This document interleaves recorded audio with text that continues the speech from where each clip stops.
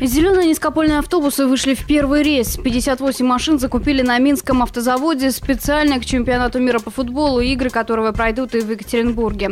Выбирал машины для горожан губернатора еще в октябре прошлого года во время визита в Белоруссию. Цвет автобусов определили сами екатеринбуржцы. Я удивилась даже, что такой красивый автобус.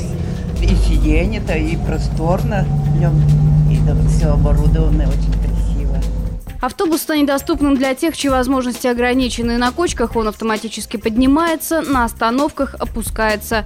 Так коляскам будет удобнее заезжать внутрь. Новые автобусы закупили за счет средств федерального и областного бюджетов. С этой партии начнется полное обновление автопарка региона. Постепенно будут менять трамваи. Чемпионат мира по футболу Средний Урал встретит с новым автопарком.